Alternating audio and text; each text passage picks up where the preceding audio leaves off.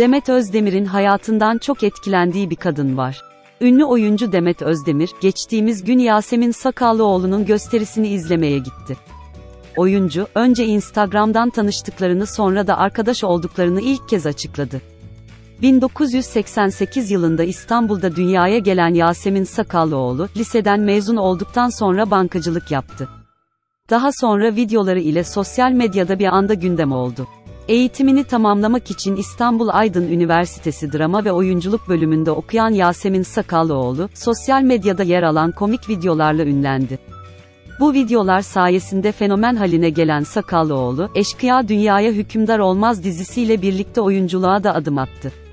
Ardından Jet Sosyete'de kumsal karakteri ile bir anda sevilen oyuncu, şimdilerde tek kişilik gösterileri ile sahnede yer almaya devam ediyor. Demet Özdemir de arkadaşını sahnede izlemenin keyfini yaşadı. Oyuncu yaptığı açıklamada da Yasemin Sakallıoğlu'ndan gurur duyduğunu ifade etti. Demet Özdemir, şöyle konuştu, Yasemin'i izlemeye geldik. Çok gururlandım. Bir kadının bir başarı hikayesi. Bu yolculuğu gerçekten çok etkiledi beni. Zaten biz Instagram'dan tanışıyorduk onunla. Arkadaş da olduk sonrasında. Gerçekten çok gurur vericiydi. Herkesin şahit olduğu bir hikaye olduğu için bu bende ortak olduğum için mutlu oldum.